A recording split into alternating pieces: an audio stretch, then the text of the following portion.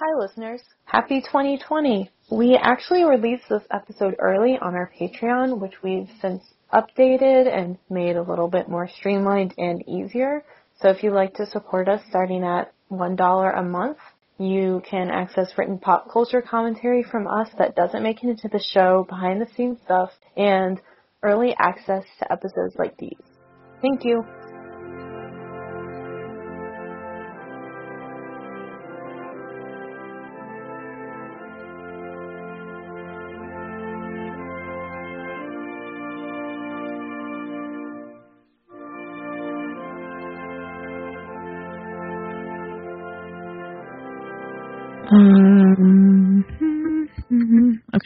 So the goal is to keep this as clean and tight so that I don't have to do that much work. Yes. also, I feel like I should use my NPR voice when using this microphone. I feel like I need to just talk like this. I don't need to be that close to the microphone. No, I know.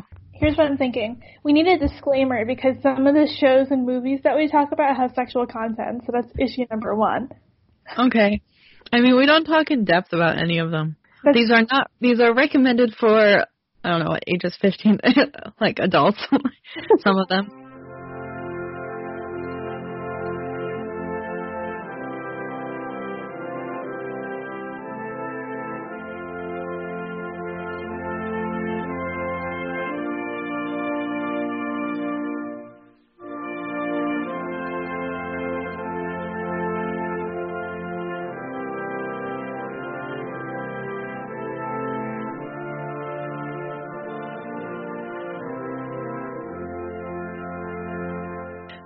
This is only best of 2019 because uh, things that we watched in 2019, although an awful lot of them were also released in 2019, because I am extremely stressed out by best of decade stuff. I was literally listening to a best of decade TV show podcast and it got me so stressed. Like they hadn't even gotten to the countdown yet. I was like, I can't.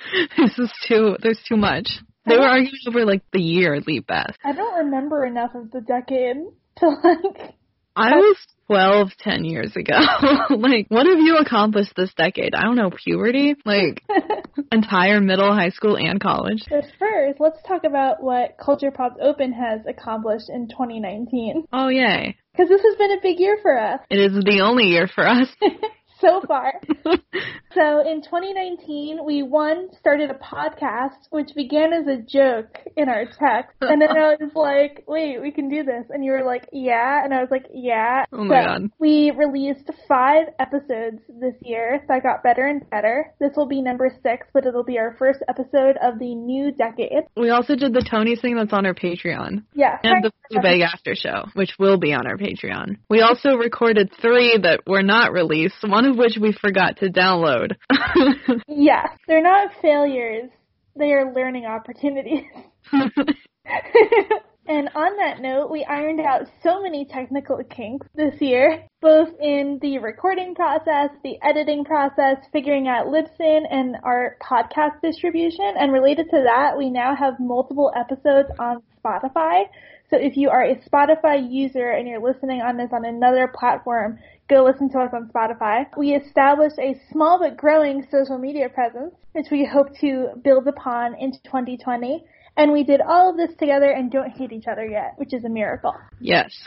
Do you Okay, want to give an overview of how this is going to work? Yes, I refuse to rank things. Most things are in the order that they came to mind, or like, I tend to go chronologically when I look back on the year. So some of that is like that, especially the books, because I was literally just scrolling back through Goodreads. Anyway, so we're going to go over our favorite TV, books, movies, musical, or theater in general. And then also our favorite other things that didn't fit into any of those categories. And we're gonna start with like things released in 2019 slash that had episodes of 2019. So like you know like a season was in 2019 that we may have watched only that season or the whole thing.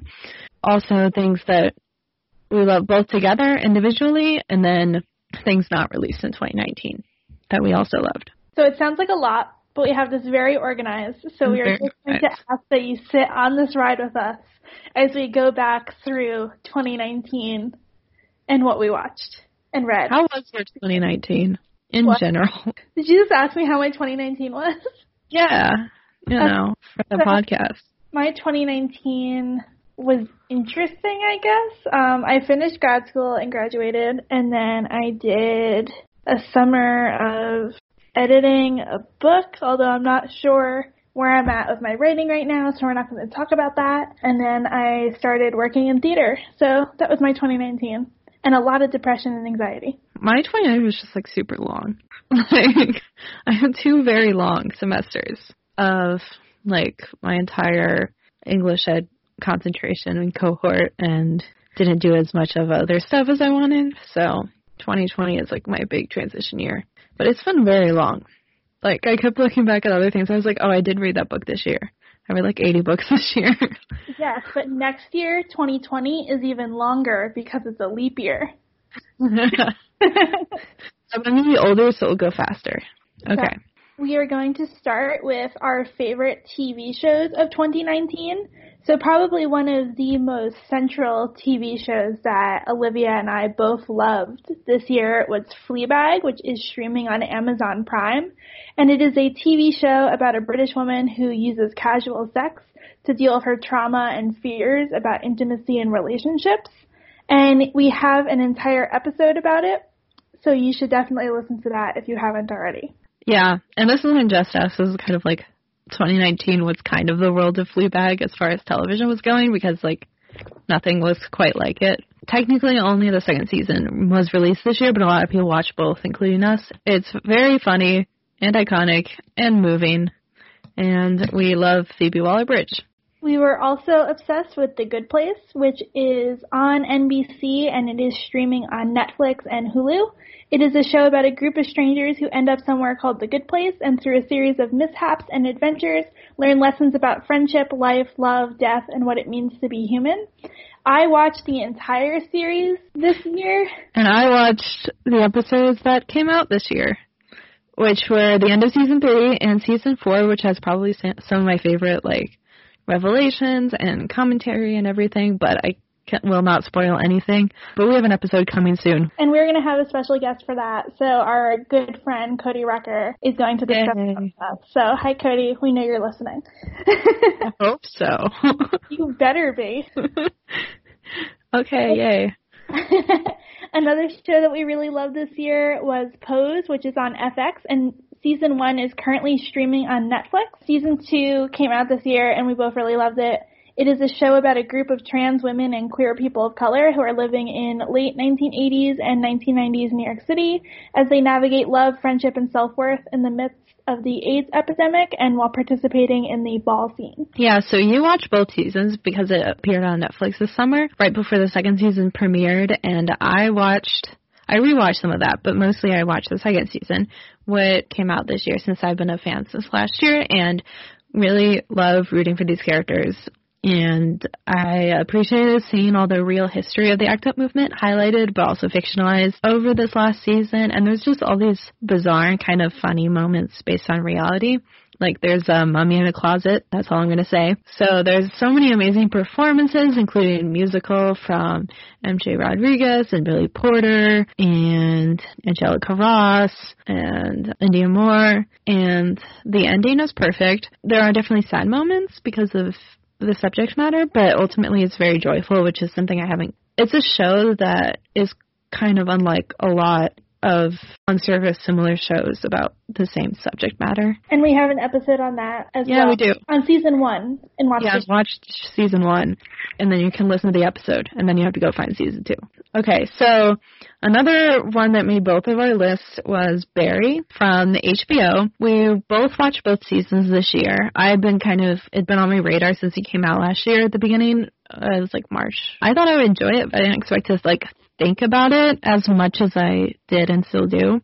So basically, Bill Hader also created the show and directed it and writes it. Is a depressed and traumatized hitman, formerly in the military, who discovers actual purpose in his life by taking an acting class on one of his hits. But the ultimate question is, can he kind of escape that world? And uh, I watched it actually twice because the first time I didn't pay enough attention because I'm not that interested in like mob stories, so I didn't notice all of the satiric elements that they're actually making fun of mobs. Um, and like those kind of characters. There's like so many weird characters like NoHo Hank. It has the best use of text messages. We all want a hug from Henry Winkler, who plays the acting teacher. Sally's storyline in season two has lots of depth and good acting from both of them. And we just really want to know what happens next because it seems to be a lot about how difficult it is, if possible, to escape a cycle of violence and how toxic, violent environments can be and like what even is a good person. Also, there's an episode that aired this year called Ronnie Lily, which is pure WTF-ery.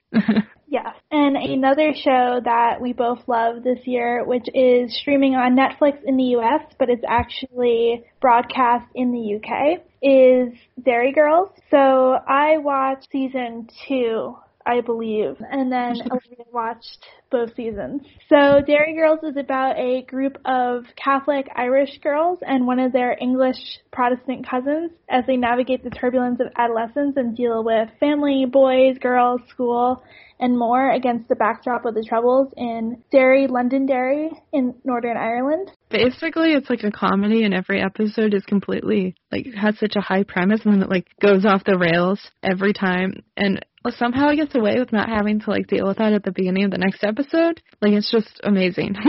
it's interesting too because there is like some kind of overarching narrative that I won't spoil. Yeah, yeah. Time it's so episodic, it works. It's really good. We we will have an episode on it at one point. Yes.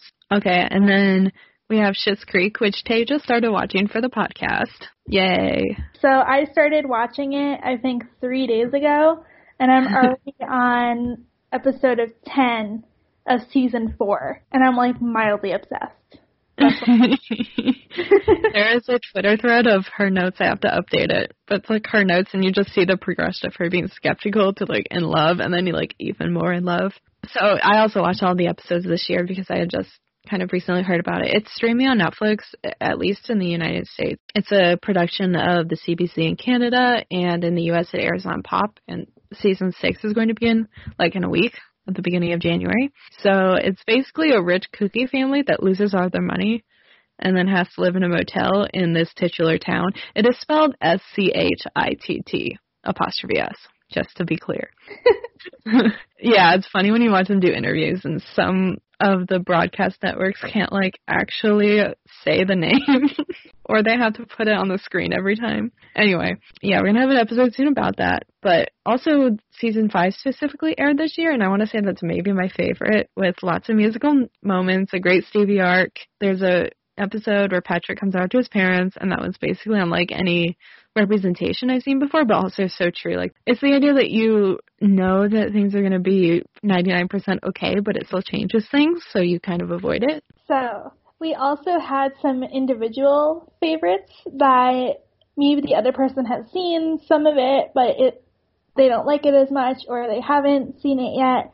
So now we're going to talk about our individual TV favorites. So I am going to start with mine. So one of my favorite TV shows had the first half of their final season come out this year, which is BoJack Horseman, which is an original Netflix animated series.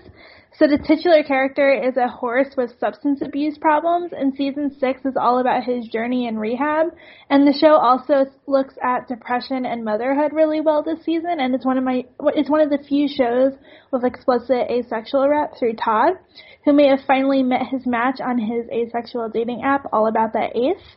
So I'm really excited for the final installment to come out in 2020 and see what they're going to do with these characters it's definitely one of the shows where if you want to get into it, I recommend binge watching the first three seasons in like two days because they're not as strong as the later seasons. But I think the show does a really good job at exploring relevant issues through a very particular type of deadpan humor. yeah, you also he used to be like a TV star, right? Yeah, he's a he's a washed out '90s sitcom TV star. There are both humans and horses and, and like animals. Yeah, it, it's yeah. Just to say, you were like, he's a horse. I was like, so yeah, I've seen the first episode, and the first one I ever saw was the other one I've seen, which was the underwater one. We watched it in a class I was in. I love the underwater episode so much. Yeah, so it's on my list. I don't know if there'll be an episode on it, but we'll see once Olivia starts watching. it's it's definitely a good show for conversation about culture and identity and mental health. So Yay. we'll see. I like those things. So I mean, that was my slight plug. Another show that Olivia and I have both seen, but I like way more than she does, is Big Mouth, which is a show about a bunch of middle schoolers navigating sex and sexuality for the first time with the help of their hormone monsters, and it focuses on the three main characters, Nick, Andrew, and Jesse. Season three came out this year and really fumbled with the bi slash pan discussion, which the writers did acknowledge, but it also kind of left a dark cloud over the season a little bit for me. And the show in general has done a great job breaking down tough subjects such as body image, mental health, and masturbation in a funny way. This season was really about toxic masculinity, and I'm really excited for season four and the spin-off, Human Resources. That's going to be a workplace comedy about the world of the monsters from the end of season two. like Depression Kitty. Yeah. I I don't like not like this show. I like it a lot, and then I watch it all when when every season comes out, and then I immediately like forget about it. Like when season three was coming out, I like genuinely didn't remember where the characters were in their stories. Yeah, this season I'm just was probably like again like the way they handled sexualities wasn't my favorite, especially something that tries to be so informative. Their like song about different sexualities was just completely off, and the pan thing was frustrating. It like brought up a point and then went to make another point and they never addressed the first point. Anyway, That's Big Mouth. yeah. show that made one giant point through one giant explosion was Chernobyl, which was a limited series on HBO. And I basically watched this because all of my coworkers were watching it, and it only made my list because Emily Watson is so good in it. And the show does a really good job at exploring the ways that human ignorance and oversight can have tremendously negative effects on the environment and other people. And in general, it was fairly well researched. It was a little over sensationalized when it comes to the visual presentation of acute radiation poisoning, but other than that, it was really good. yeah, I have no interest in watching that. You were like, Tay, why are you doing this to yourself? And I'm like, I started it, I have to finish. yeah. It's very graphic. Do not watch if you're not into like graphic body horror at certain points. And then, okay, so the rest of these are going to be going in the opposite direction of body horror. I watch a lot of food documentaries and docu-series. I watch a lot of Food Network too, like more the competition stuff. But this year I kind of really fell for watching shows that made me have a deeper appreciation of food as a nexus for understanding human connection, human culture, and human identity. So there's four shows in particular that I really loved, and these are all available on Netflix to watch. The first is Ugly Delicious, which is David Chang's show.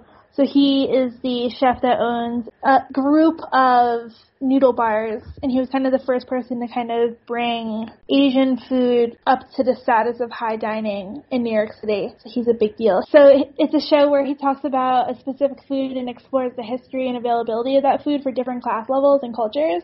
So the first episode is on pizza, and it's one of my favorites. There's an episode on tacos. There's an episode on fried rice, barbecue. There's a whole Thanksgiving episode about home cooking where he discusses where the title of the show comes from, and then there's a debate at the end of the season about stuffed pasta versus Asian dumplings.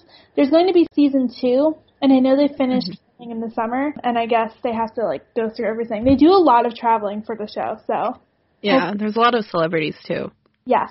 So Aziz Ansari is on it. Ali Wong makes an appearance. Jimmy Kimmel's on it. There's a lot of celebrity chefs and actual celebrities on it. It's really great. Along with celebrities, David Chang also released a series this year called Breakfast, Lunch, and Dinner. It's a limited series where he gets breakfast, lunch, and dinner in a different city with a different celebrity in each episode. So in the first episode, he goes to Vancouver with Seth Rogen, which actually has some of the best writing advice that I've ever seen in a show. So I highly recommend watching that if you're a creative person.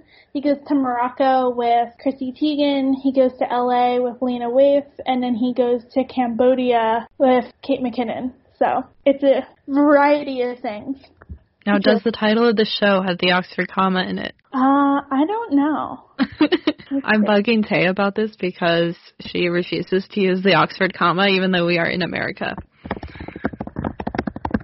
she's looking it up. it does not. It has an ampersand and no Oxford comma, so suck it, Oxford comma fans. Um, another food show that I really like this year because I'm a huge taco fan. So if you watch the taco episode of Really Delicious and then want more tacos, watch the Taco Chronicles on Netflix, which is a limited series that talks about the social and political history of a different type of show in Mexico across six episodes. It's really great. It has really great representation across various indigenous groups in Mexico. Highly recommend. And then the last series that I watched this summer, I think, while I was putting together my bookshelves, was Street Food. And that show explores the rich street food culture in Asia and each episode is on a different city in a different Asian country, and it explores three to four street food vendors in those locations, and it does a really good job of documenting food cultures that are at great risk of disappearing or not continuing. Um, for example, a lot of the Indonesian street vendors who make desserts are between the ages of 80 and 100. So those cultures and traditions are at great risk of disappearing, and I think the show does a really great job of documenting it in a respectful way that doesn't totally fall into the colonialist gaze issue. So I want Olivia to watch at least some of these shows so that we can have a food docu-series episode since I think it's a fruitful discussion. She started the first episode of Ugly Delicious, so we'll see. Even you talking about it makes me hungry. like I don't know if I can handle this. Okay, so my turn is uh scripted shows. um because apparently that's all I watch.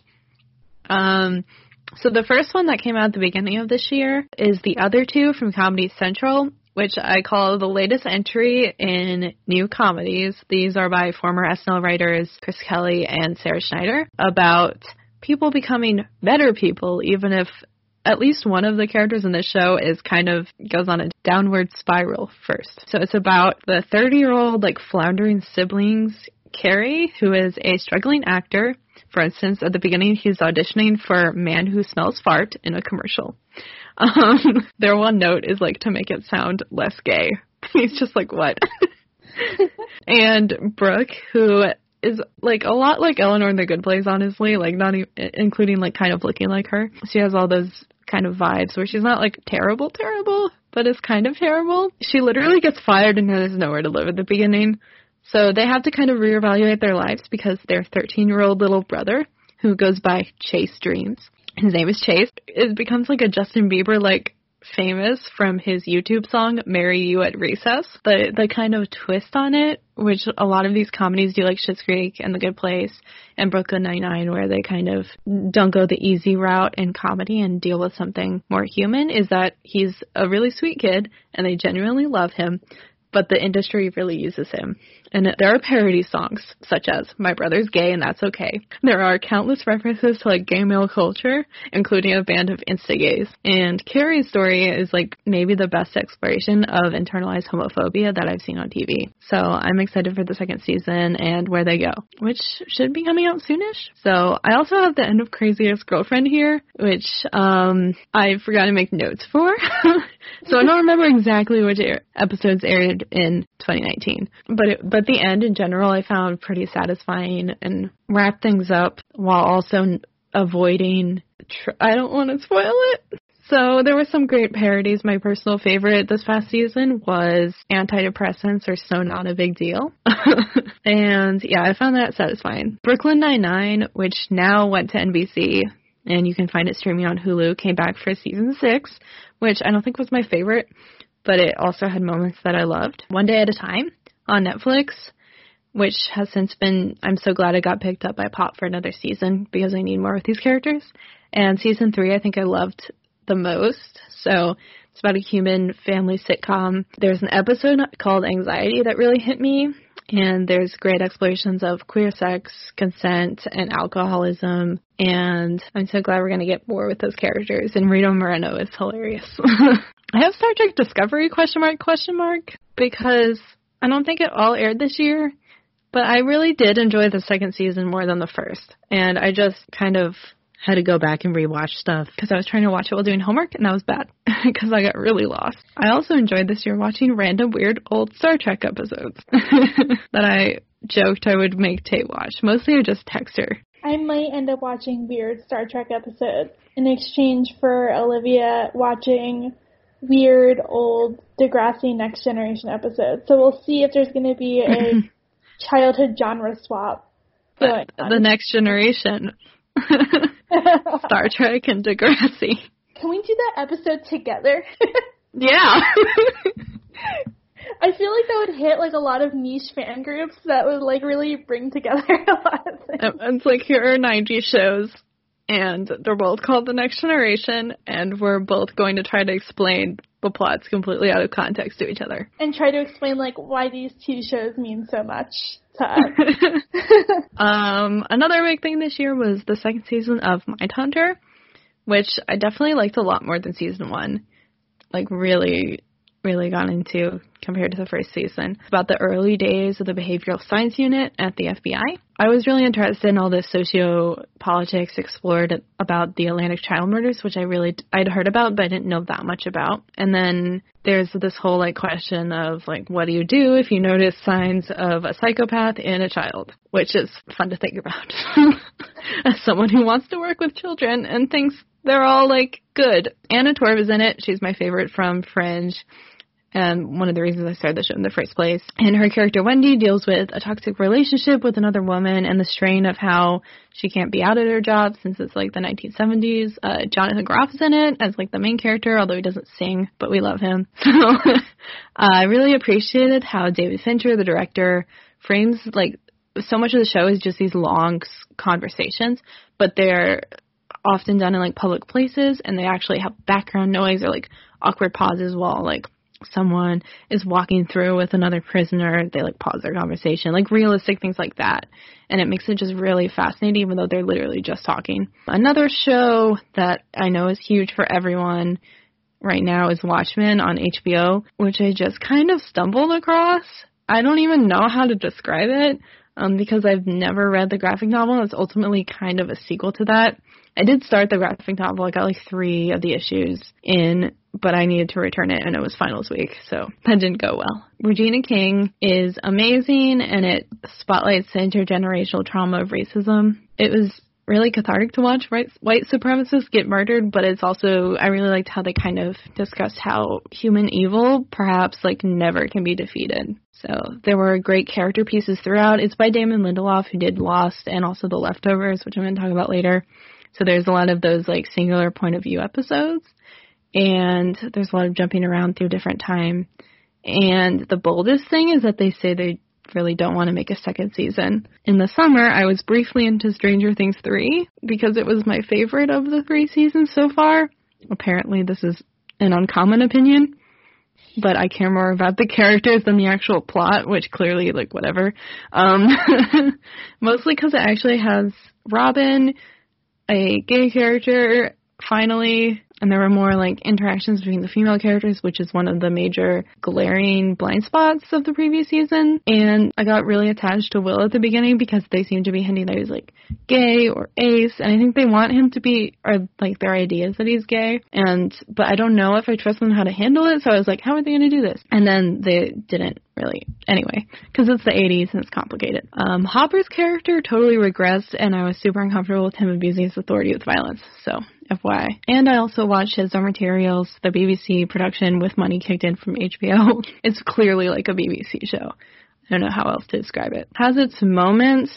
The books are just super big nostalgia for me, so I was like, even the flaws people point I was like, yeah, it's just it's just exactly like the books. Mostly, I've been waiting ten years for the second two adaptations, so I'm more excited for that, and I was really excited when like one of the major characters, Will, actually appeared in this season, even though the pacing was weird. So, uh, the other one. we should have like alternated. We should have alternated. I guess you can do that if you really want to with editing. But, no, uh, probably not.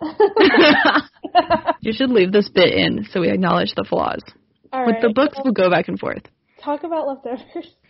Okay, another major show I watch. I watch a lot of TV, guys. I was trying to use up my HBO subscription from my university before I graduate. I've been meaning to watch the show since the final season came out in 2017 and all of the critics were talking about it. And it's like so worth it. I knew this first season was supposedly not as good, but I still broadly enjoyed it. But then I definitely loved the second and then the third one even more. because it just gets better and weirder. It's about 2% of the world's population just disappearing and everyone having to cope with it through things like religion and cults and divorce and uh, hiring prostitutes to shoot you in a bulletproof vest. And then, like, they all have to try to piece together this life in spite of questions that, that just will never be answered. So it features things like perfect music cues, episodes focusing on particular characters and point of views. The main character dying to become an international assassin in a hotel, not once, but maybe up to three times. And he always comes back. And maybe he's the second coming. And it's weird.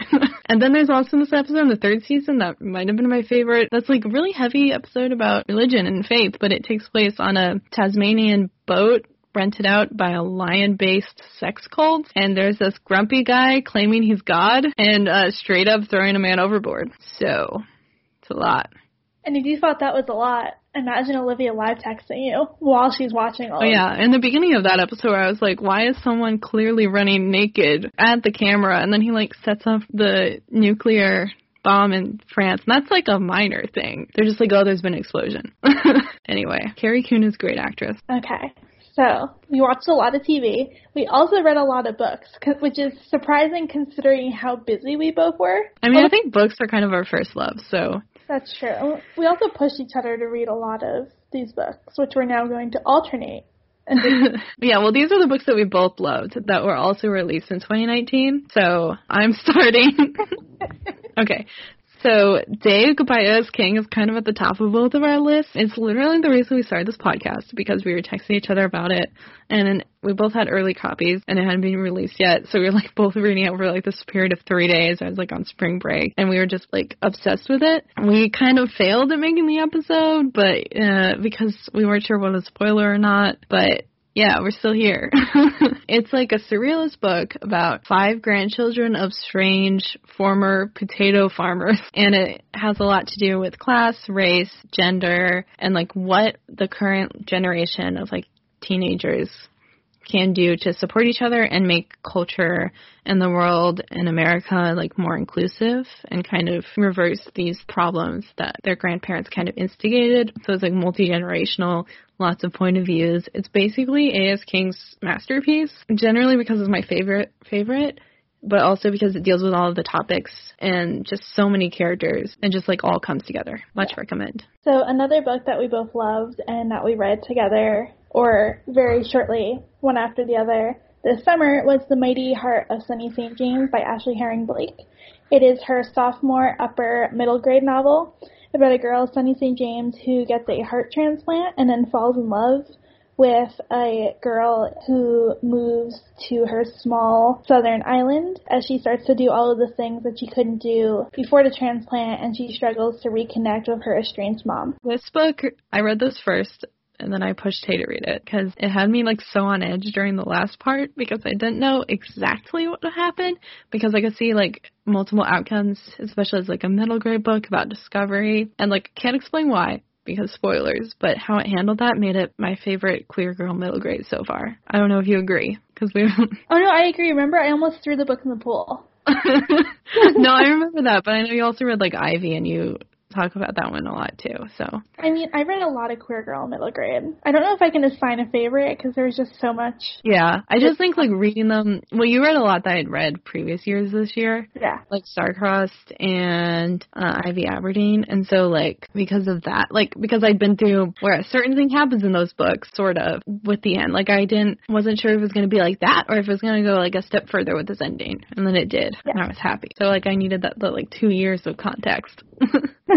okay, so another one is The Year We Fell from Space by Amy Sarig King, who is also A.S. King, who wrote Dig. This is an upper middle grade about a girl, Liberty, whose parents get divorced. And then uh, there's a meteor shower. She drags a meteor that's like 130 pounds in her room, and it talks to her.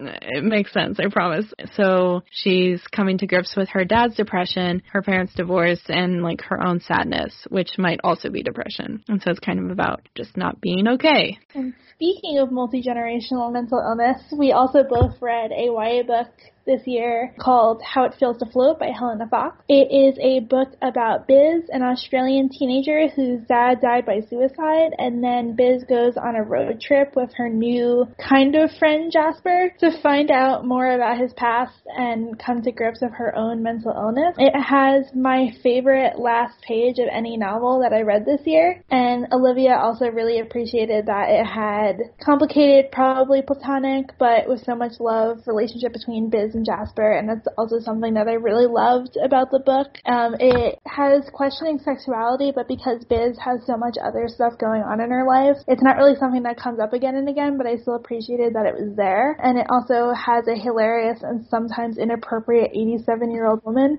who becomes Biz's friend. Okay, so the next book on both of our lists, which I was lucky enough to read in ARC like digital arc and then Tay was like desperately trying to get it the day it was released is Brave Face by Shaun David Hutchinson. This one's actually a memoir, nonfiction YA about his journey of realizing that he was both gay and depressed as a teenager. And those things like aren't related, although of course his depression and his internalized homophobia kind of collaborated to tell him he wasn't worth love or anything. But it also deals with his suicide attempt and how he started to move forward. So we particularly love how how he Hutchinson highlights how the media landscape of gay characters either which was kind of in this binary back in the 90s, which again, the readers, including us really weren't alive for. So he really contextualizes his history and talks about how like you either saw the effeminate joke or this tragic promiscuous AIDS victim, like drugs and stuff. And that influenced his understanding of himself and his actions towards others because of his internalized homophobia. Uh, so Hutchinson is also part of the asexual spectrum. Um, he is demi, but in Brave Face he explains pretty explicitly the feelings of being demi which was something that I really appreciated while reading the book, but he doesn't use the label because he didn't have the language yet, and he chose not to put it in there. Um, there's also two trigger warnings, and there there's a trigger warning at the beginning, or a content warning rather, that is really helpful. And then there's a jump trigger warning, which I used and Olivia didn't, and we both had wonderful experiences with the book. So it's something that we hope publishing continues to do moving forward. Yeah, and it was really great to reach that, even though I was planning on reading the whole thing. Like, but there was so many times early in the book where I was worried, like, oh, is it going to happen like now? But then when I got to that part, I was like, oh, okay, so like now I know it's happening. So another book that we both love loved Deposing Nathan by Zack Smedley, and now Zack is kind of our friend. At least he's my friend. Um, Disclaimer: friend of the podcast. You'll be on here at some point. So, Deposing Nathan is a gritty YA contemporary slash thriller that's about a boy, Nathan, who starts to fall for a new boy in town, Cam, and their budding relationship causes chaos in Nathan's personal and family life. And oh yeah, it's told through the lens of a deposition after Cam stabs Nathan. So, yeah. It's great. It also uses the C word perfectly. this is true. Deposing Nathan is such a good bi coming out and discovery story that I don't think we've seen much of before in YA. Yeah, especially because when you say that someone's falling for a guy, you're like, oh, he's gay, because bisexual invisibility is real. Yeah, but no, Nathan is definitely like one of the biased books that I read this year. Yeah, and every time you think it's gonna fall into a trap, like one of the characters points that out. Oh yeah. Okay. Also on both of our lists is Like a Love Story by Abdi Nazemian. This is a book told in three perspectives. It's a YA book from characters Reza, Judy, and Art. And these are three teenagers growing up, falling in and out of love in 1990s New York City against the backdrop of getting involved in ACT UP and AIDS activism. Reza initially falls for Judy to deal with the fact that he knows he's gay. And then he falls for Art and things get complicated, but it's ultimately like this really beautiful book and has so much great history and culture in it that we can all it was just the perfect thing to read when Pose season two came out. Yes. Like both of those things, it was a great Pride month. so also on our favorite list of books this year is I Wish You All the Best by Mason Deaver. It is a own voices contemporary novel about the turbulent coming out of a non-binary teenager, Ben DeBacker, and how they find their voice through art and they fall in love with sweet queer boy named Nathan, not Nathan from Deposing Nathan. It's pretty and soft all at once, and it has a great exploration of bisexuality. That was the best that Olivia had seen in YA, and it also Yeah. goes into mental health and therapy. Yeah, well, especially as it deals with gender and what by being bisexual means compared to, say, the uh, Big Mouth episode. Yeah. this idea that like what does two genders mean, two or more, etc. Anyway, to switch gears a bit, it, we have Guts by Raina Telgemeier, which is this cute and sweet middle grade graphic novel about a tween Raina, so it's it's her memoir, who experiences stomach issues as a result of her anxiety. And it was very relatable for me because I definitely experienced stomach issues as a result result of my anxiety. Sometimes I feel like I'm gonna throw up, but it's not like the extent. But yeah, this is a hugely popular book right now, and I'm so glad it is. Okay. Another book that we both loved and read early copies of was Redwood and Ponytail by K.A. Holt. It's a very, very, very, very, very, very, very, very soft upper middle grade. It's told in dual perspective verse about two girls, Redwood and Ponytail, who discover their queer identity and they fall in love. And it's punctuated by these chorus of three girls that reminded me a lot of the three witches in Macbeth. Yeah, it's like a Greek chorus kind of thing. Yeah, who comments on their relationship. And I think this might have been my favorite queer girl middle grade Really? of 2019.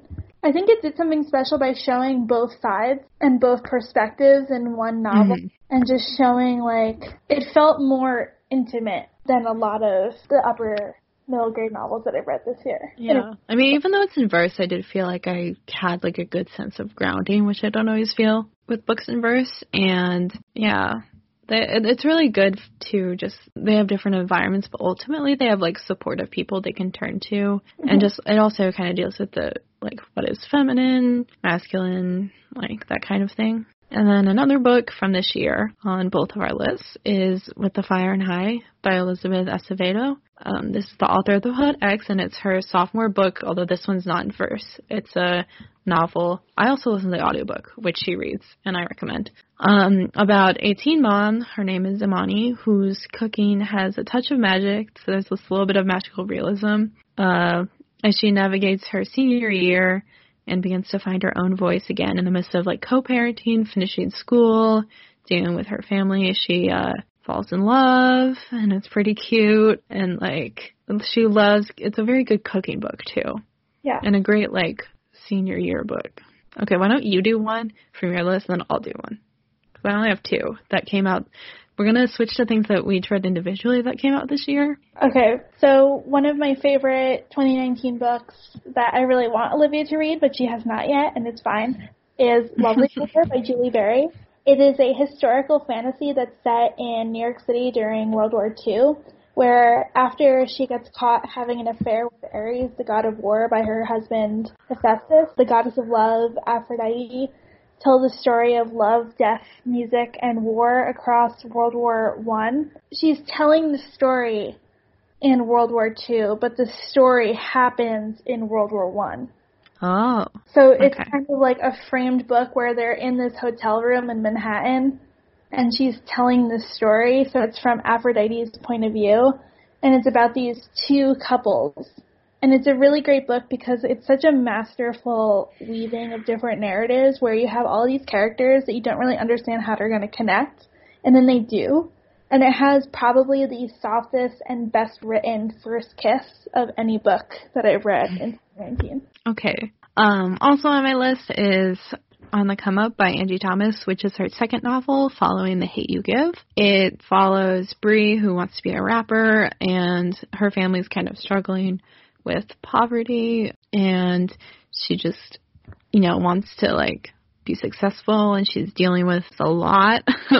this book is very long and it deals with so much that I think it, it's just very much like that you give us such a well-rounded community, family, friends, school. I listened to this on audiobook and I also really recommend that because you can hear the raps and it's ultimately like characters that I was really, really rooting for and just really felt like I was in like their world and there were so many different perspectives, very much like our first book. So I really recommend that. So another book that I really love this year is Reverie by Ryan La Sala. It was the funnest book launch that I've been to this year. There was a drag queen and we had to sing a song, but the There's book video on Twitter.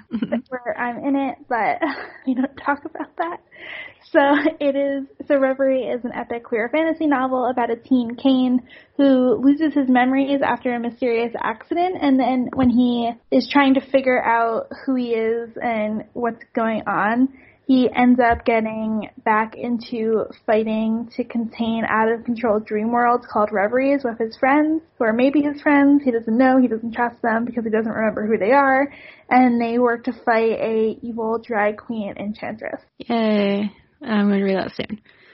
So, um, the other one released in 2019 that I read and really loved was Shout by Laurie Halse Anderson, which is in verse. It's like part memoir, part like reflections and poetry, not like a manifesto, but kind of. And she wrote Speak 20 years ago, which is about a girl dealing with the aftermath of being raped and she doesn't speak and doesn't want to tell anyone. And so this is about and that was kind of based on her own experience of being raped at like 15, very young. And so her story about that is very powerful and growing up and then also writing Speak and seeing reactions to Speak and people trying to ban it. So I definitely recommend that for some poetry. She's she's really good at the line breaks and like the sound and rhythm in poetry, which sometimes when you read in verse kind of like it feels like poetry. Like I wouldn't call it a novel in verse as much. It's strong. So I had five other books that I really enjoyed in 2019. The first is I Hope You Get This Message by Farah Naz Rishi. The writing is so good. This book I devoured in like a day.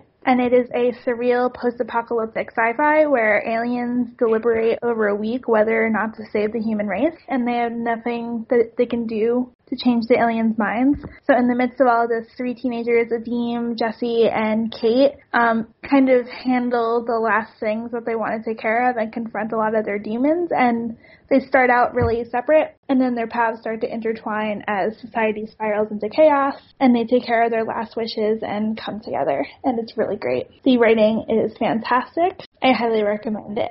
So another book I really liked was Well Met by Jen DeLuca. It is a cute, smutty Renaissance fair romance about a woman who fell on rough times and she goes home to take care of her sister who broke her leg. And in the midst of all of this, she gets involved working as a pub wench at the local Renaissance fair so her niece can participate because she needs an adult to kind of sign up with her. And she ends up maybe falling in love with the cute organizer of the fair who plays the lead pirate. I, I remember texting you when I was reading that book. Yeah, you did. Another book I liked was Scars Like Wings by Erin Stewart, which is a contemporary YA about a teen who survives severe burns after her house catches on fire. And in the in that fire, she loses her best friend slash cousin and her parents. So now she lives with her aunt and uncle, who lost their daughter in the fire. So she's really scarred and she is forced to go back to high school. And in the process of going back to high school, she ends up connecting with another burned survivor at the school who is going through her own trauma and issues and falls back in love with singing and musical theater. Another book I loved was You'd Be Mine by Erin Hahn. It's her debut book. All my other books have been debuts as well so far, I think. Except for Julie Berry's book. It is not her debut book. So You'd Be Mine is a sweet contemporary romance about a mega hit teen country heartthrob, uh, Clay Coolidge, who convinces a kind of quiet, out of the spotlight daughter of country music legends Annie Mathers to go out on tour with him during the summer. And on the road, the two begin to grow close, and as Annie's star begins to rise towards fame, Clay begins to collapse under the weight of his own weight and guilt and demons and has to deal with that. And then finally, in the middle grade age bracket, one of my favorite books this year was Hurricane Season by Nicole Melleby, which is an upper middle grade novel about Fig, who feels the burden of making sure that her former piano playing dad, who is bipolar, is doing okay enough because CPS is kind of checking in on them. And in order to deal with all this, she looks to the life of Vincent van Gogh for answers on how to take care of her dad. And she's struggling with her feelings for girls, and her dad's falling for the kind neighbor and is a really great, sweet, quirky, weird book that takes place down the Jersey Shore. Yeah. I really want to read Hurricane Season. I have an arc of scars like wings, which the way you described it made me more interested in it. So it's finally get to that. typical inspiration porn book. I was surprised. And which is good. Yeah. Oh, this one did come out this year. Red, White, and Royal Blue by Casey McQuiston, which I'm not upset as obsessed with as much as everyone else, I think, but it was a fun and funny read. What I really appreciated, especially, was that it didn't shy away with the consequences of international outing. So it's about in a world where a woman becomes the president of the United States in 2016, who's from Texas and has a biracial son named Alex, and is divorced, and that son is bisexual and kind of discovers that, which is really good, and kind of falls for the like Prince Henry. Yes, Harry's the real one of the royal family. we just, I was like, it is one of those two names. And yeah, so they kind of fall for each other. Um, and I really like the message of how red states like Texas, as I mentioned, this character's from, produce marginalized people and their voices do matter. And uh, sometimes politicians on you know, in this condition, you know, leftist politicians like forget about that. They're like, whatever, we'll give up on that state or something. So, um, I have a lot of books not released in 2019 because I'm still trying to catch up on things. So, Tay read this one in 2018 when it came out, which is Darius the Great is Not Okay. I read this at like the beginning of the year and it's still stuck with me. It's this beautiful, quiet book about a half Iranian, half white American kid named Darius traveling to Iran for the first time and trying to figure out himself with his first real friendship and his tenuous relationship with his father, who is much more masculine than him. And they both have depression and take medication for that. And it features extensive opinions about tea, father son Star Trek The Next Generation viewing, which obviously I appreciated, and taking antidepressants and gaining weight from them, which I also really appreciated. It made me very emotional. I took a James Baldwin seminar this past semester. So I had already read Giovanni's Room and I reread it.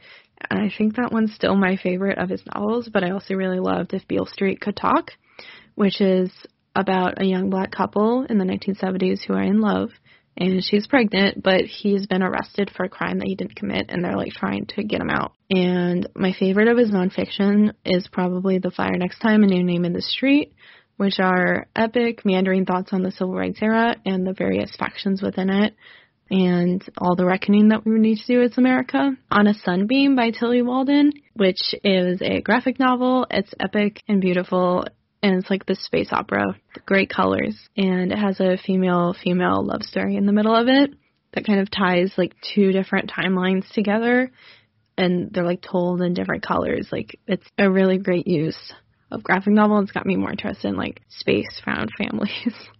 There's just a lot of Star Trek references in this. I don't know what to say. Blanca E. Roja or And Roja by Anna Marie McLemore. It's an ampersand on purpose, which is this beautiful kind of retelling of is it Snow White and Rose Red, which yeah. is not the same as Snow White and the Seven Dwarfs. It's a different Snow White. and Swan Lake.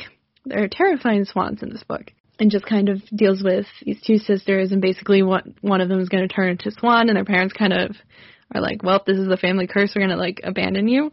And then there's a boy who can change into a bear sometimes and another kid who is genderqueer and named Paige who we love. You read this last year.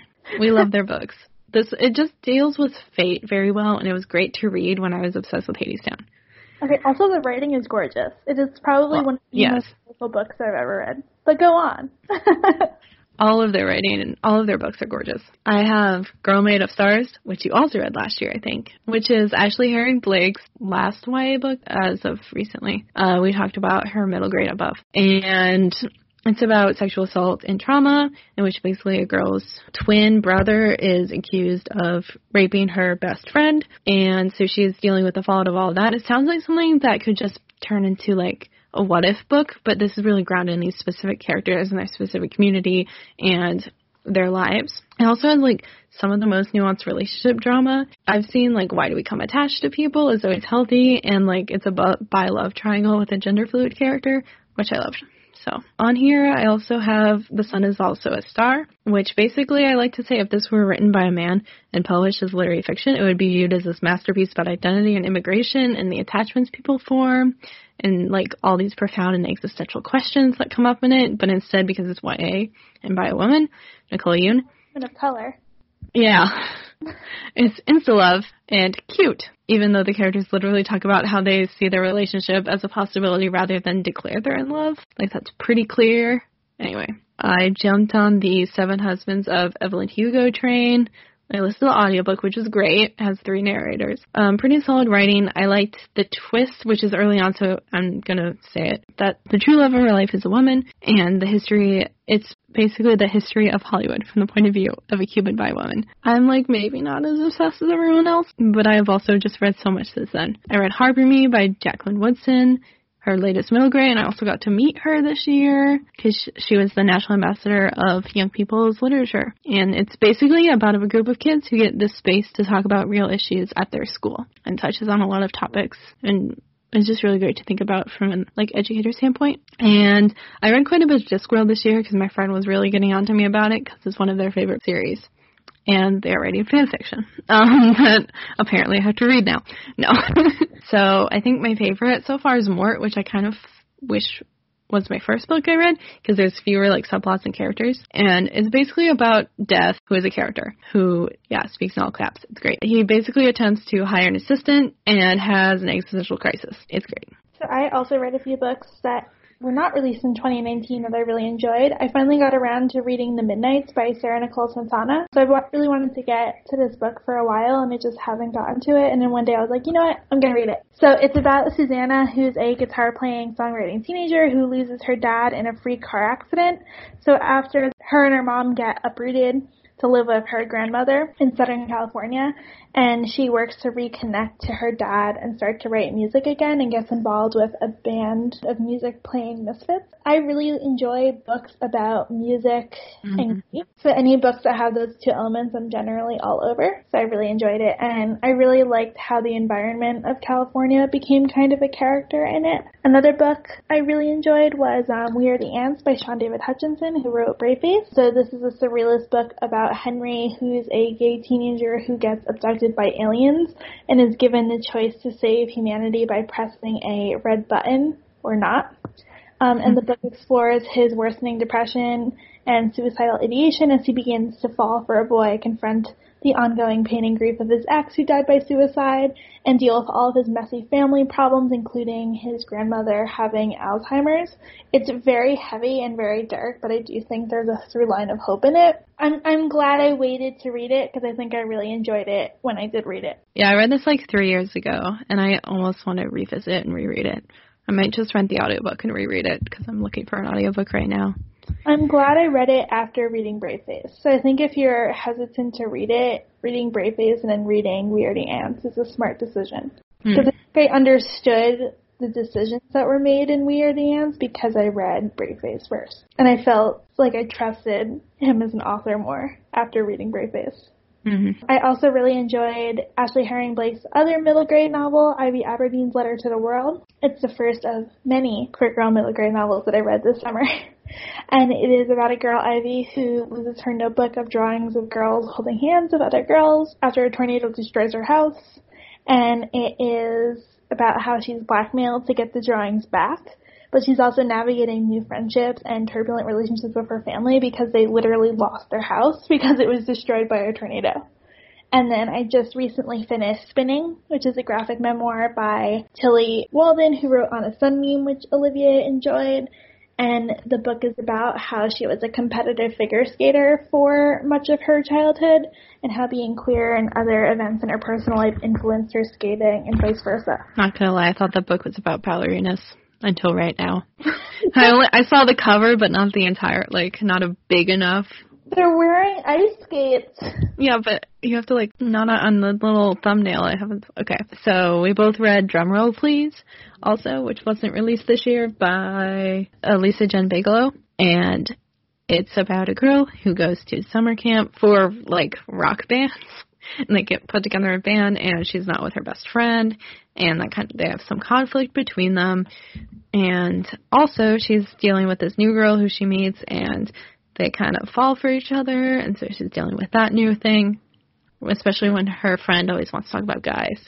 And it really dealt with friendship conflict in a great way, and lots of music references. I also read Hazel Theory of Evolution, which is Lisa Jenn Bigelow's newest middle grade, but I think I like Drumroll Please more. We're not huge movie fans. Maybe that will change in 2020. Maybe it will not. It really depends what comes out, I guess. But one movie that we both really enjoyed, mostly because I heckled Olivia to watch it, was Booksmart. Which is about, I wanted to watch it. I know, but I really like pushed you to watch it. I was just waiting for it to come out on Hulu because I never actually go to the movie theater, which is why I hardly see movies. Okay. so anyway, Booksmart is about two good do two do gooder. Who wrote this? You. that was the joke that you didn't laugh at. Two do gooder. There's to understand. And Molly, who decide to go to one wild party because they have always been very studious, well-mannered, good students before they graduate high school and it sends them on a hilarious adventure that strains their perfect seeming friendship. It definitely has good moments. It has like pretty good queer rep. There's it's very surreal. Yeah.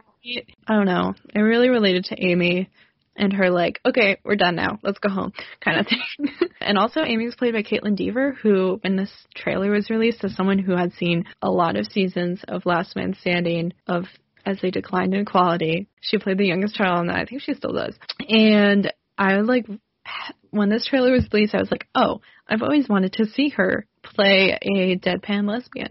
She did. So I put on this list because we made this a while ago. If Beale Street could talk, and because of awards season, things get fuzzy about like because like a limited release first and then a bigger release later because Oscar nomination, whatever. I still have only seen the first 30 minutes of this, which we watched in class because I've been busy. But those first 30 minutes were amazing. And again, I love Regina King, who was also in Watchmen and The Leftovers. So, moving on, at the beginning of this year, I saw The Favorite, which again, release date question mark because of award season and it's a love triangle of political manipulation between Queen Anne, played by Olivia Colman, who is again an Oscar British darling. Her new like court hand, because I don't know what the official term is, played by Emma Stone, and then her like already established trusted court hand, Rachel Weisz, and those two are cousins.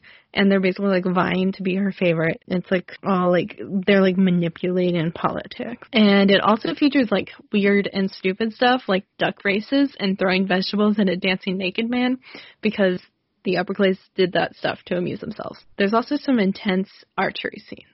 Tay has to watch that movie. So, Rocket Man, I also have on here. I actually saw this movie because I had someone to see it with my dad in the theater on rare occasion of going to the theater. Uh, it, this is the Elton John biopic, which is kind of disguised as a jukebox musical and one long therapy session about his addiction. It's way more cinematically interesting than Bohemian Rhapsody, and probably more accurate since Elton John himself worked on it. And like, it begins with a five-year-old Elton John singing "The Bitch Is Back," Like that's all I need to say. So other movies include Noelle. Um, it's a solid Christmas movie with tons of Christmassy puns. We have an entire episode about it, so if you want to know more about Noelle, watch that. Basically, it's about Bill Hader not wanting to be Santa, and then Anna Kendrick, who plays his sister, goes after him in Phoenix, Arizona. Again, watch it. Listen to our episode about Weirdly it. Weirdly similar to Barry.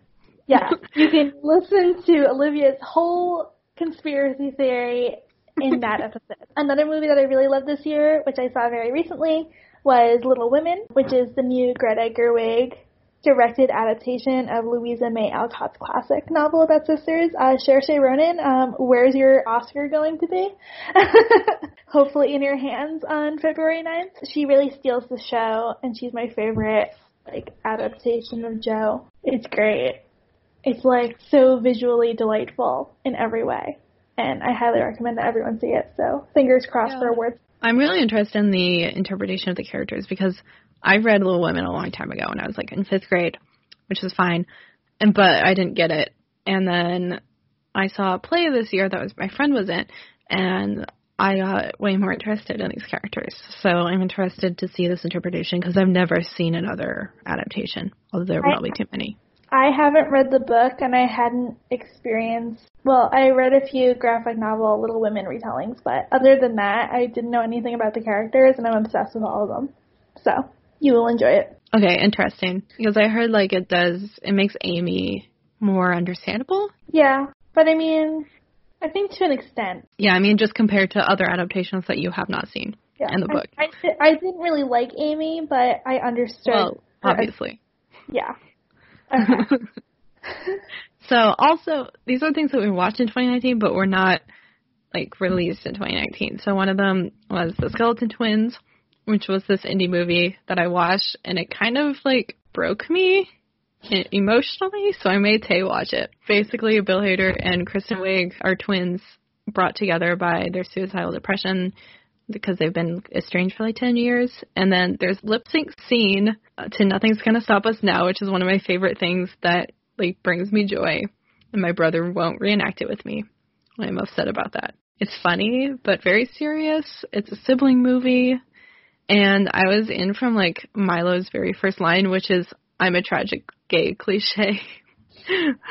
when she goes to visit him in the hospital. So I also watched eighth grade, which you have seen, Mhm. but I watched it this year.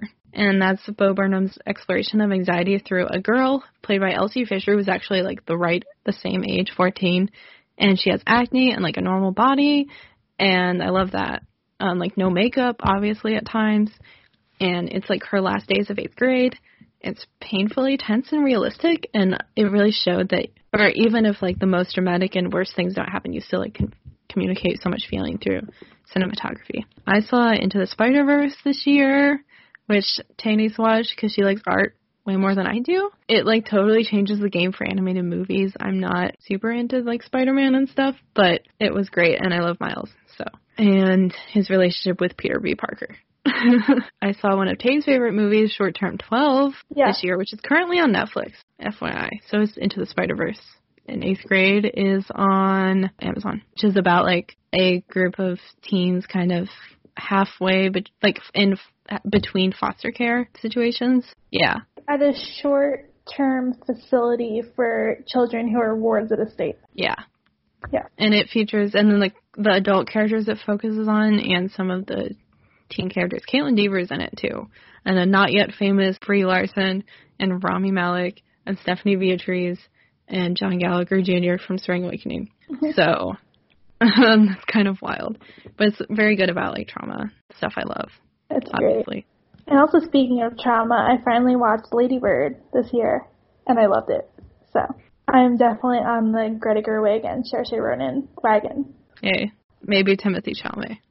No, not really. He's in both of them. I don't care. I'm not on his bandwagon. I just want people to pronounce it Timothée because I took French and that's what I see every time I see it. Me too. He just has too much sad boy energy for me, and it's like, what do you have to be sad about? no, he also Lucas Hedges in that movie and made me cry. So yes, he was much better in Lady Bird. But let's talk about our one true love, musicals. specifically, uh, for both of us on here, we have Hadestown, cause which actually started. I started listening off Broadway. I knew it was like had started on Broadway, but they like hadn't released the album yet, or like even any clips. My friend was like, I had heard a little bit before, but I started with the off Broadway album and some of the original album because the off Broadway one doesn't have every song because they only had one disc, and it is like still one of my I love seeing it evolve and just like everything about it. There will be an episode at one point. I can't even start. We're not going to start that now. I saw two days before the Tony Awards, and I have to say the biggest detriment to Hadestown was them not having the album ready, because I feel like I would have stayed much more obsessed with it if the album had been out when I saw it. But I love yeah, it. see, I was listening to the first recording that they had released, and like every release of that, I was like, oh, how are they gonna like update it or like what did they change, that kind of thing. You see, my thing is like whenever I see a show, I want to be able to like experience the music from it. to relive it, and it was really hard to do that with that show. So. Yeah, and the music is fantastic, but so is just the story and themes and like literally every aspect of the design. So another one we have, the other one for both of us especially, is Little Shop of Horrors, which is not actually new to me. I saw it like seven years ago, my freshman year of high school. They did it. It like blew my mind because I'd never seen a dark musical before. But I saw another version of it this year, which kind of rediscovering it because now I know like all of the references to the 1950s, and I really appreciated that. And yeah, you had never seen it. I knew like two songs from it. My mom hates it, so I was never able to convince her to like see a production of it. And I just was like lazy and never saw the movie, so I saw the off Broadway revival of it with Jonathan Groff and Christian Borle, and I fell in love with it. And because the original soundtrack was so good, I was able to binge the music after seeing it, and now I binge the actual cast album all the time. So I really enjoyed it. But anyway, speaking of productions, um, I also have like the other because I really didn't discover any new musicals besides Hadestown. But one of the things that starting at the end of last year and the beginning of this year, I was really delving into and rediscovering was Next to Normal because uh, we did a production of it, like an undergrad theater company that I was a part of last semester, and it was amazing. And it basically owns my heart and soul.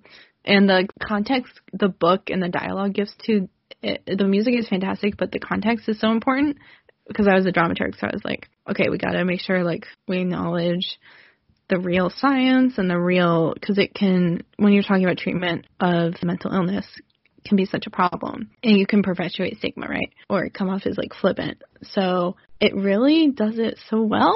Like probably better than like any musical I've seen dealing with that stuff looking at like Dear Evan Hansen and Be More Chill. And it was like it's like 10 years old now so I don't know happy decade so I discovered quite a few musicals and saw quite a few new musicals that many of you probably have not heard of. One you might have heard of is Moulin Rouge. So there's a Broadway spectacular production of it based on the movie and they added new music to update it.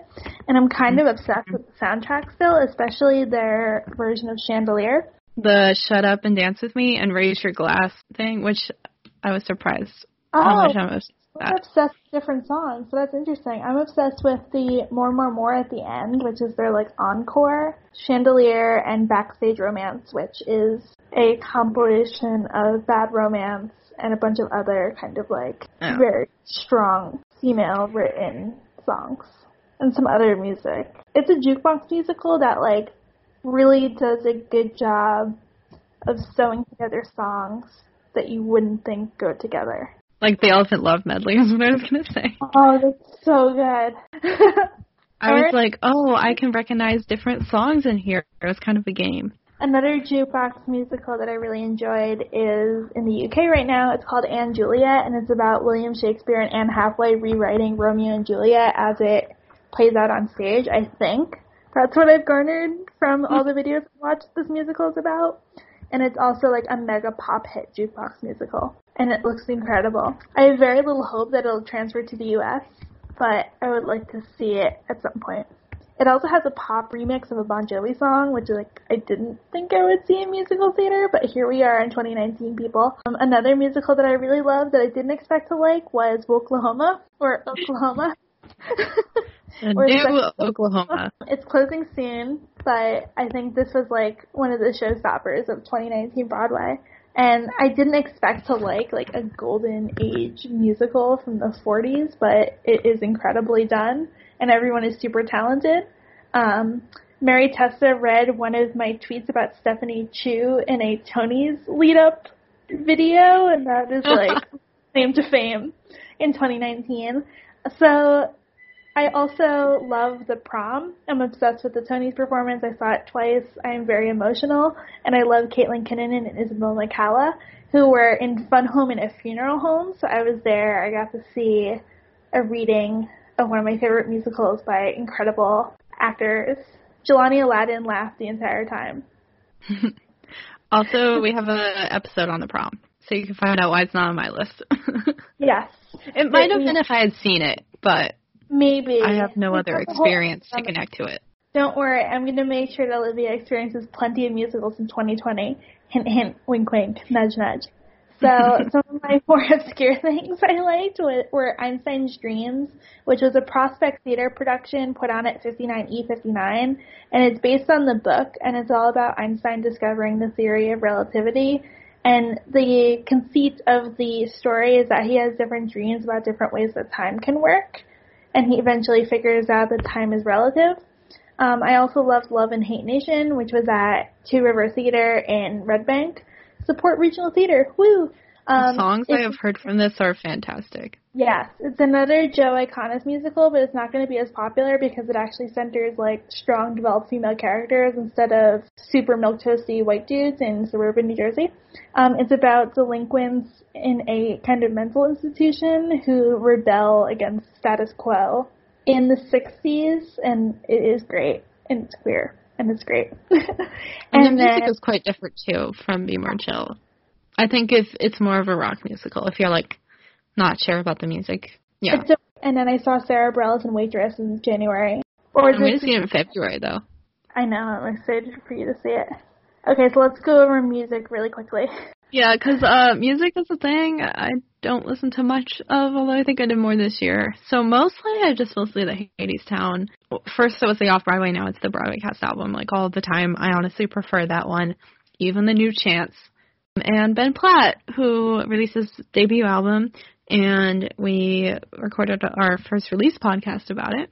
And I saw uh, him in concert. I saw him in Philly and Radio City, so that was like the one new music that I enjoyed, so I'm going to shut up now. I discovered King Princess kind of recently and briefly. Mostly, I think Hit the Back is a bop. Haven't listened to everything. I also appreciate Lizzo and Maggie Rogers. And these are all people who are bigger for others. But like I'm still kind of stuck in the 90s because mostly I discovered Natalie Merchant, Tori Amos, and even more REM. So So I fell in love with Sara Bareilles' music, and I saw her in concert. Um, I listened to a lot of like early 2000s alternative rock, and I don't really like stray from that.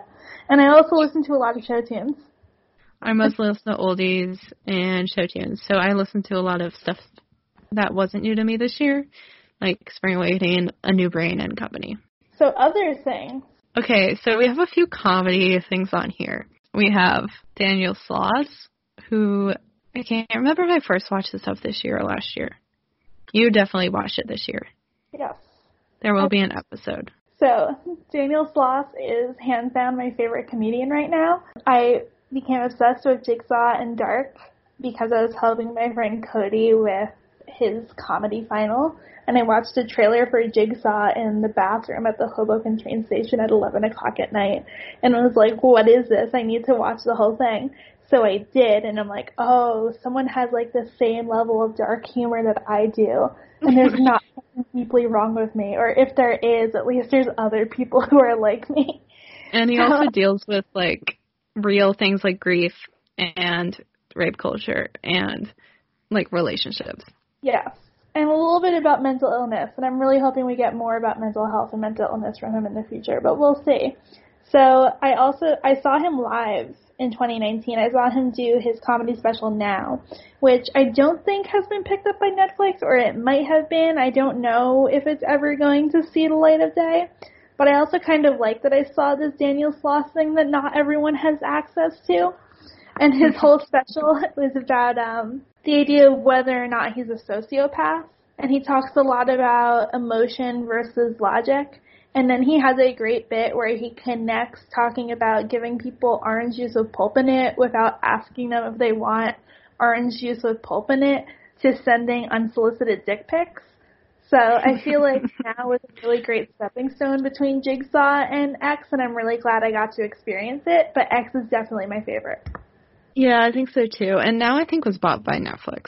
I also think this was the year I discovered Bo Burnham. Now that I think about it, because I watched Eighth Grade, and I really loved Make Happy. At first, I didn't quite get his stuff, but then like with that one, I think you do, and that one's on Netflix, so I recommend. So another one that I introduced to Tay, and now she's she loves is um, the comedian Gary Gulman, and particularly his new special, The Great Depression.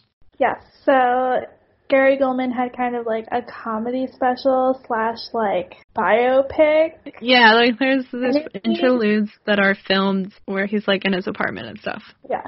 So it's his return to comedy and he explains his recovery process from severe depression. And I appreciate we have these male comedians who are breaking down a lot of the toxic culture in comedy through sharing their own vulnerable experiences.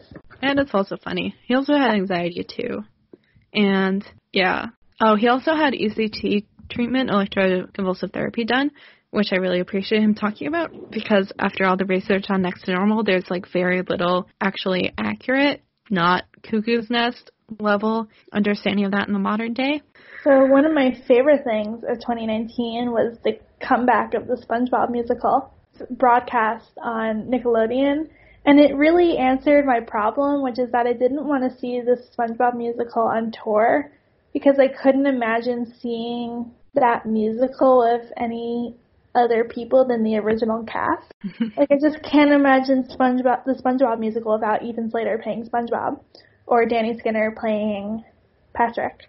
So they filmed it live for Nickelodeon and I feel like this is really the answer to like the rent problem that started 2019 off, which is that these like elaborate stage broadcasts of musicals don't really work. They kind of stopped it after that one because that one wasn't live.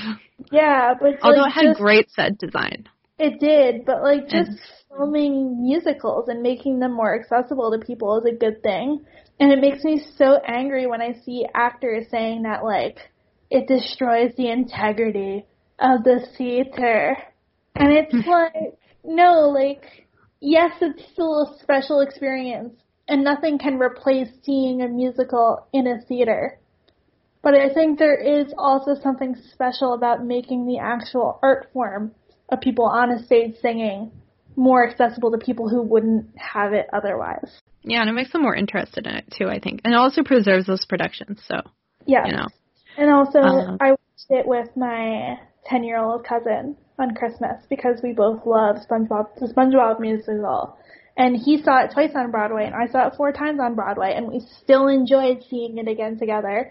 So just mm-hmm. like, get your act together, US, and like, film things and make them more accessible. Yeah, I still have to watch it. I still have to watch it. Another thing I think you watched with your cousin on Christmas was John Mulaney and the Sack Lunch Bunch. Yeah, I have to watch it again, but from what I was able to like actually hear through all the chaos, I really enjoyed. Uh, Andre DeShields of Hadestown is in it, and there's a whole thing about just very relatable stuff like grandma's got a boyfriend and uh plain plated noodles with a little bit of butter.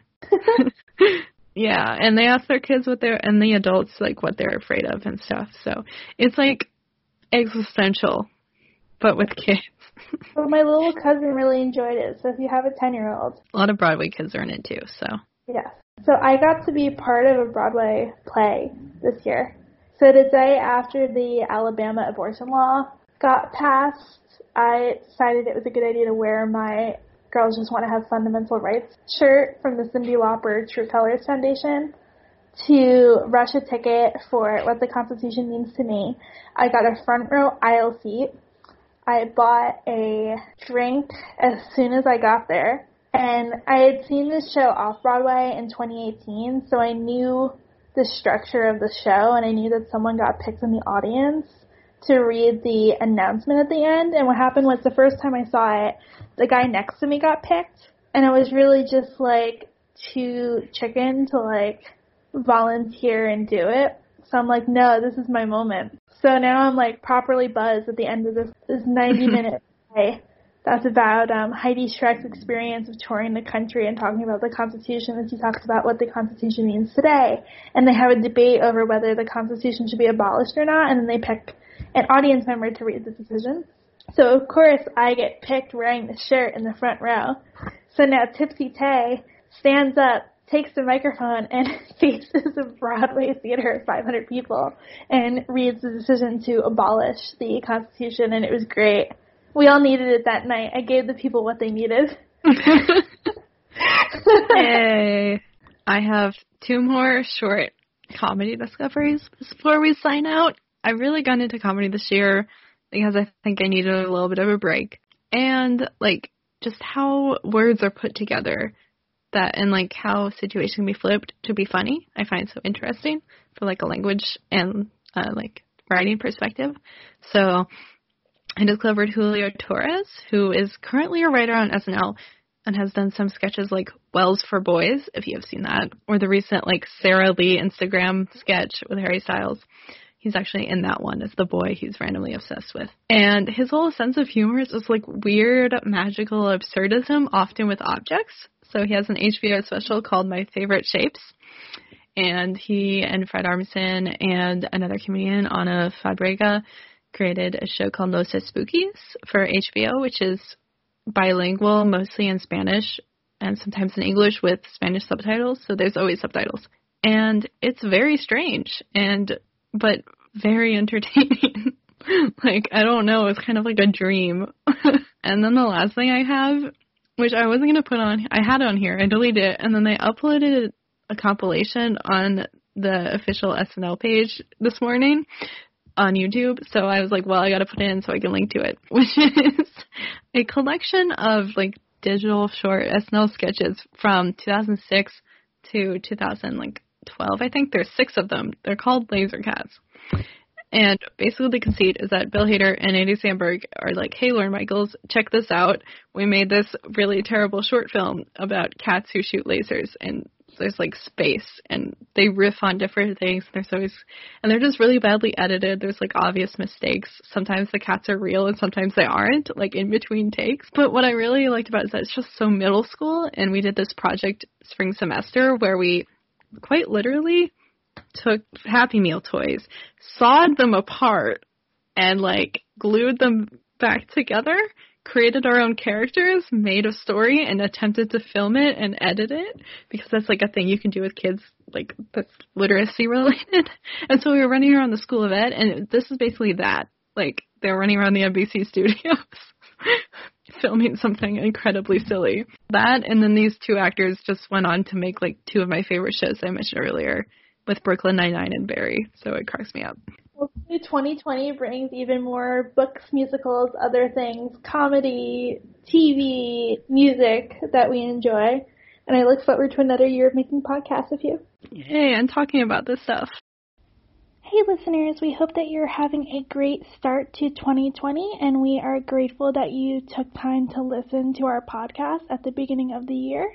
If you want to support Culture Popped Open, you can follow us on social media. You can follow the podcast on Instagram at Culture Popped Open, and you can follow us on Twitter at CPO underscore podcast.